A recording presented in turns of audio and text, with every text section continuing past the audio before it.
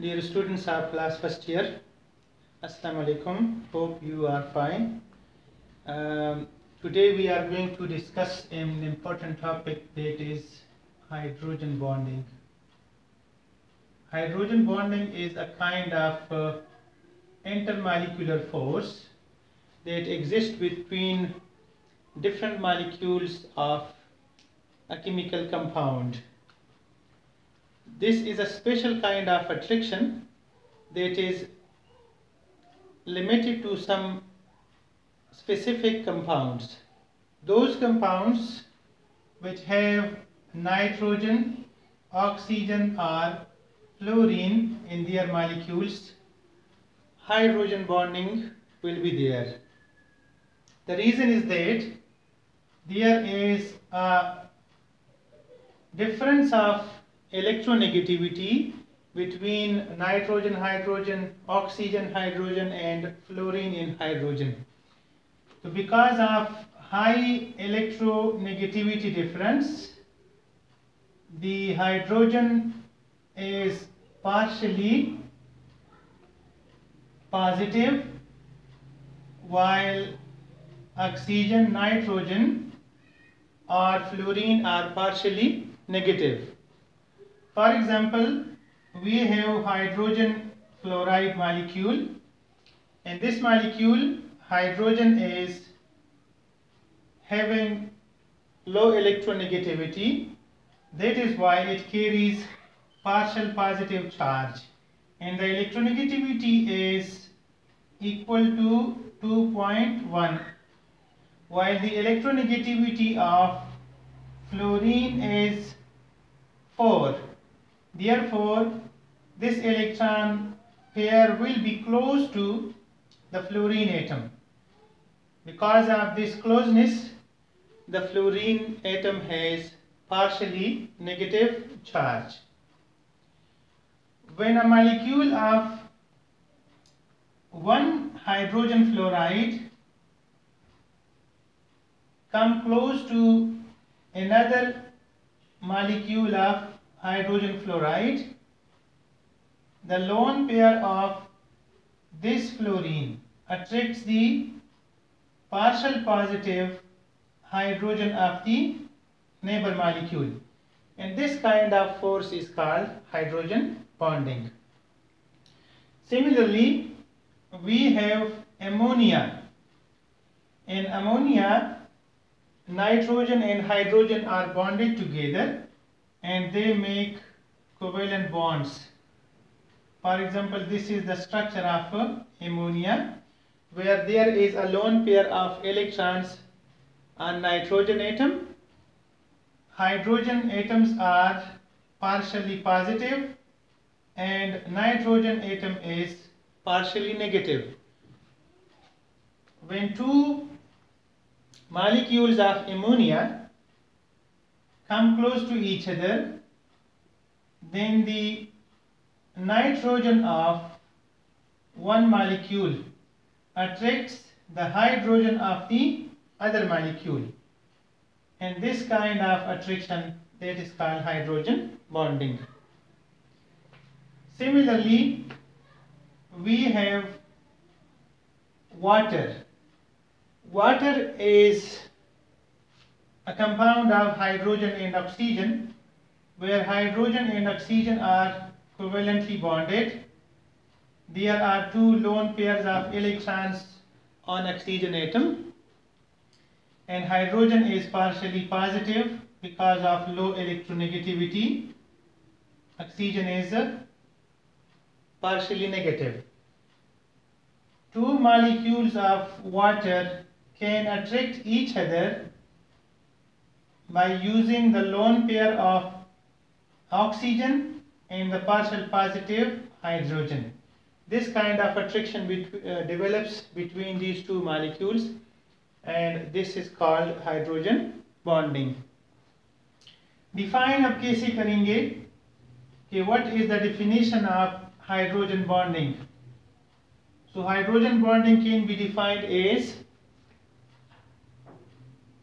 definition the force of attraction between the partial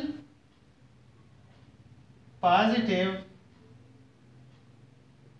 hydrogen of one molecule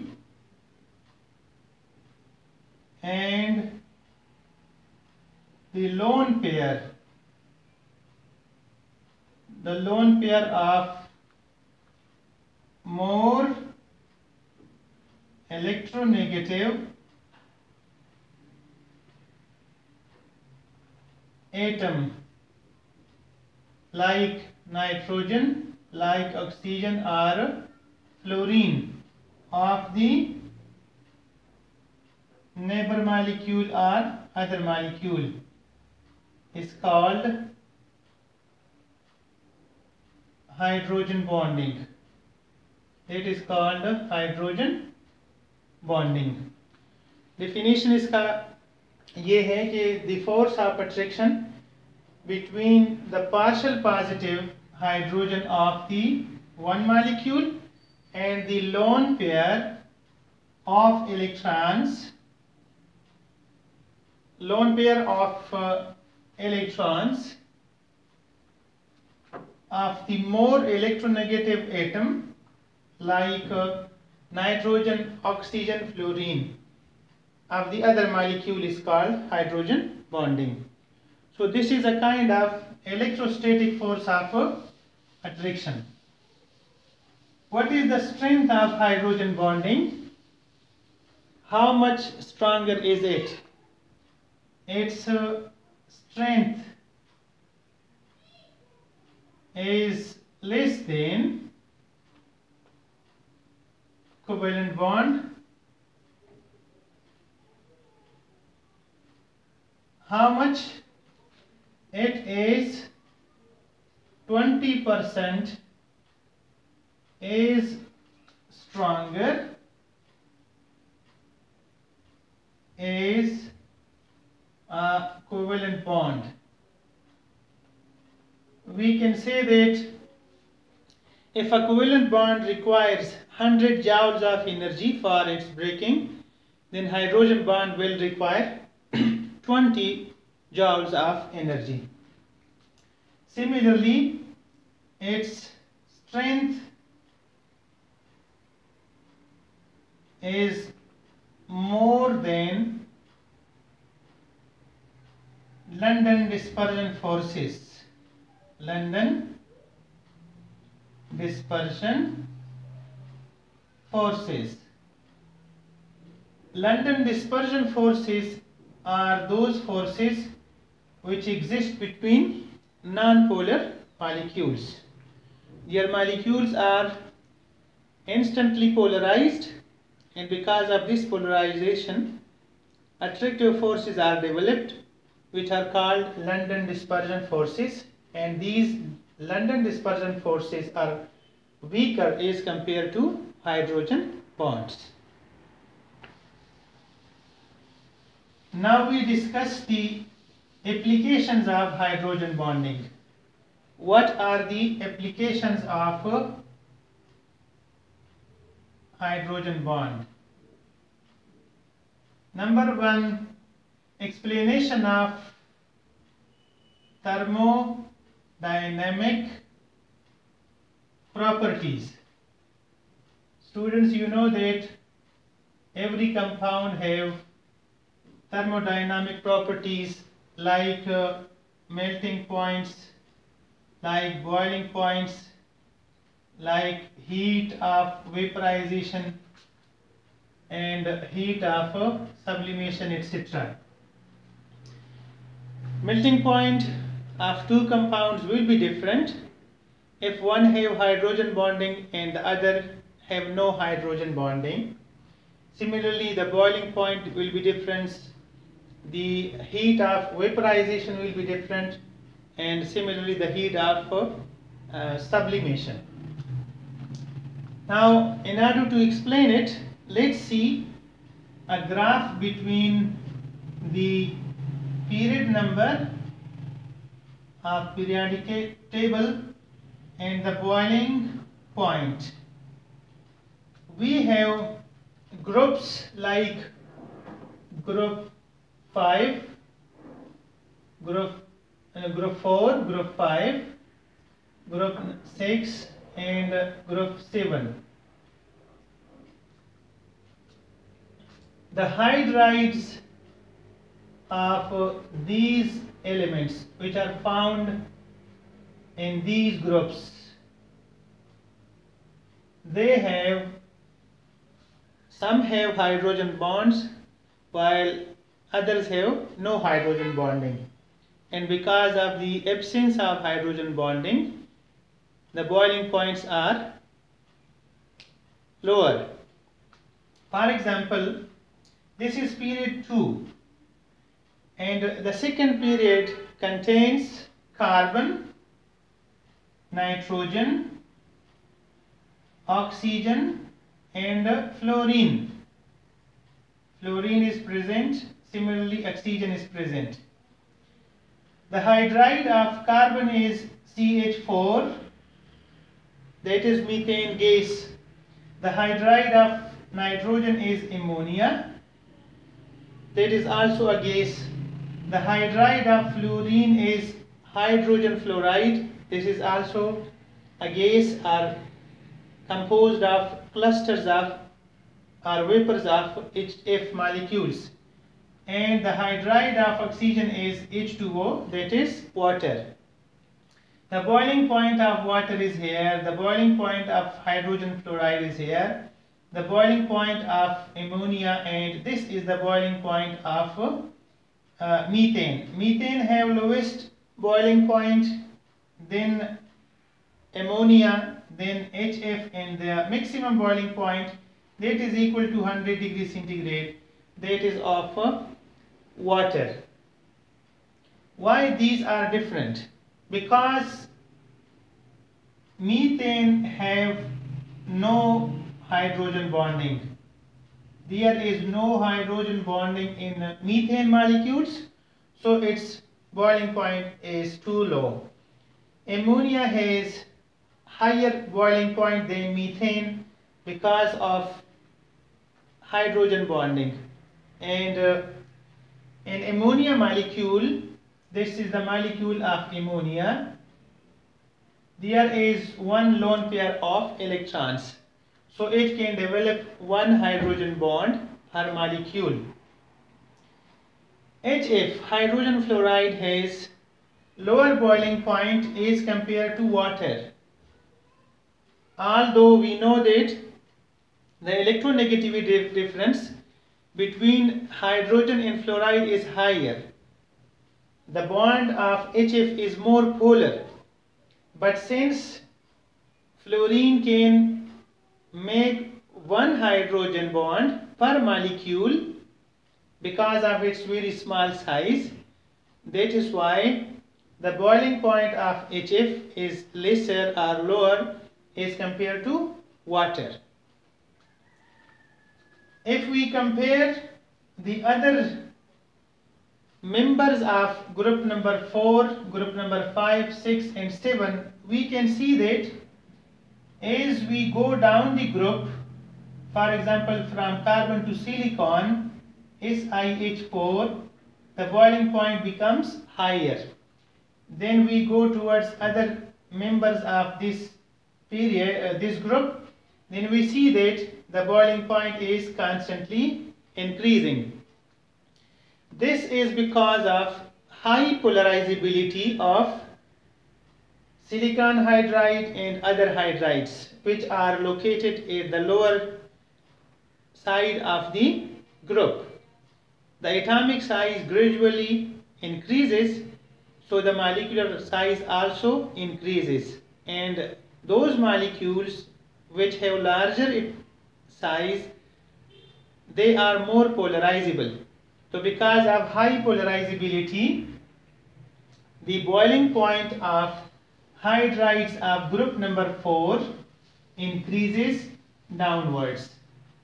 Similarly if we compare the ammonia and other members of the group number 5 then we see that they have lower boiling point as compared to ammonia because these don't have hydrogen bonding while ammonia have hydrogen bonding. Similarly, if we compare group 7 elements with each other, then the fluorine has hydrogen bonding with hydrogen of the other molecule. That is why the boiling point of HF will be much higher as compared to other members of its group. But also we see that from HCl towards HBr and HI, the boiling point is gradually increasing. This is also because of more polarizability downwards. If we compare the boiling point of group 6A which contains oxygen then we can see that the oxygen and others have comparatively different boiling points. The boiling point of water is much higher as compared to its other members. So these are the uh, thermodynamic properties of the hydrides of different elements having hydrogen bonds or no hydrogen bonds. You can also see the difference of graphs between the carbon family, nitrogen family, hydro, uh, fluorine family and oxygen family. You see that the graph of uh, carbon family is such that on the lowest side is CH4 and others are on higher side. While in case of nitrogen, the ammonia is on upper side having high boiling point and the others are on lower side and gradually the boiling point is increasing. We can say that the boiling point of ammonia should come down like this. It should be like here. But because of hydrogen bonding, it goes up and its boiling point is higher than others. So this was the first application that is the thermodynamic application of uh, hydrides of group different groups and uh, periods of the element, uh, elements. Another application is application number two. The next application is the solubility of hydrogen bonded molecules. Solubility. We see that and we know that according to the rule like dissolve like this is this is the basic rule of solubility polar substances are soluble in polar and polar, non-polar substances are soluble in non-polar. So those which have hydrogen bonds, they can make hydrogen bonds. They will be soluble in each other. For example, alcohol plus water, these are soluble in each other and they can make a solution. The structure of alcohol is like this. C2H5 ethyl and this is OH hydroxyl group is here. The structure of water is HOH since uh, it has hydroxyl group. Similarly water also has a hydroxyl group. So they can make hydrogen bonds with each other. Because uh, the hydrogen of alcohol will be attracted by the oxygen of the water and the hydrogen of water will be attracted by the oxygen of alcohol. Because of these interactions in these hydrogen bondings, both are soluble in each other in each ratio. Similarly, if we have a carboxylic acid, like acetic acid and other carboxylic acids, if we dissolve them, they will make solution and they will be soluble in each other. This is also because of the presence of hydroxyl group. The general formula of a carboxylic acid is RCOOH and this OH is responsible for making hydrogen bonding with uh, molecules with each other as well as with the molecules of the water. That is why these are soluble in water.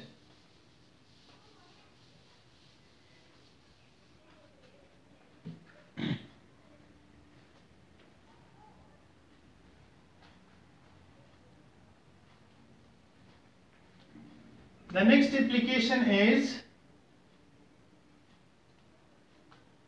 cleaning action. You know that we use detergents for washing clothes and the dirty clothes have dust particles which are polar in nature as well as oil and grease which are non-polar in nature. The detergent have two groups. Their molecules are having two sides or two portions. One is uh, polar and the other is uh, non-polar. So when we use a detergent, the non-polar part of the detergent clean the oil or grease or non-polar material in dirty clothes and since the polar part of this detergent is soluble in water so when water is flown then this polar part is attracted by water and the non-polar attracts the oil and grease. So when we wash it with water then uh, both the grease as well as the dirt will be washed and the cleaning action will be done. The next application is hydrogen bonding in dyes and paints. Dyes and paints are sticky materials. They can be applied on surfaces like cement, like metals, etc. And because of the presence of hydrogen bonding, they stick to the surface and can be applied easily. So the attachment of dyes and paints is because of hydrogen bonding. We know that cloths are dyed, they have different colors, beautiful colors. These dyes have polar groups like hydroxyl group, like amine groups. So because of the presence of hydroxyl groups, they can be applied on cloths because the cloth have cellulo uh, they have fibers and uh, these fibers are polar they have many hydroxyl groups so because of making hydrogen bonding the dyes will be and could be applied on cloths. So we have different uh, colored cloths in the markets and uh, we use it. Number fifth is clothing.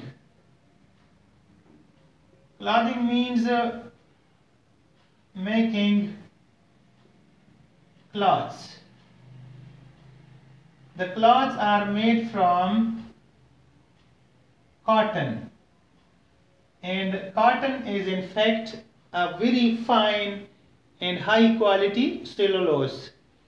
Since cellulose is a carbohydrate and carbohydrates have many hydroxyl groups that is why they can make hydrogen bonding with each other and because of their ability to make hydrogen bonds they can be converted into threads and the threads are used to make cloths. Because of the hydrogen bonding, they have high rigidity and tensile strength.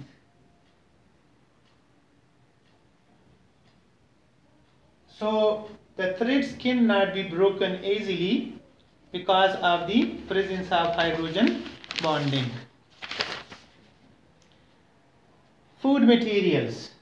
We also know that food materials are used in our daily life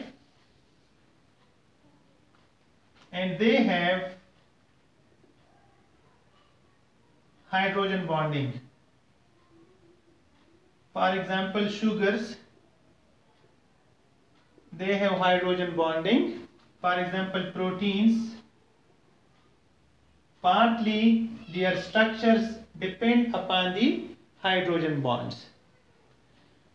So those substances which are eaten by us in our in used in our daily life, they have hydrogen bonding because their molecular structure have hydroxyl groups. The last application is biological compounds. Biological compounds are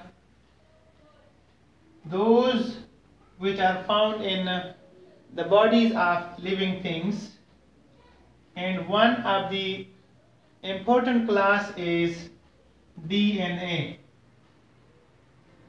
DNA molecules are thread-like structures and their structure is double helical structure. They are in spiral form and this part of the spiral is attached with the next part because of hydrogen bonding. The size of DNA is very small because of this spiral structure or convoluted type structure. So if we uh, open this structure, then it may expand in a large area. But because of this kind of arrangement, it requires very small space. Similarly, we have enzymes. The enzymes are special proteins. These are special proteins. And these uh, special proteins can catalyze different types of uh, reactions in our body. These also have hydrogen bonding. What is the function of DNA? The DNA function is that it transfers genetic information from one generation to the other generation. Similarly, they can also synthesize or help in the synthesis of proteins. So students, uh, this was a lecture about the hydrogen bonding. Hope you understand it. And if you have any question, then inbox me in the comment box. Thank you very much. Khuda Hafiz.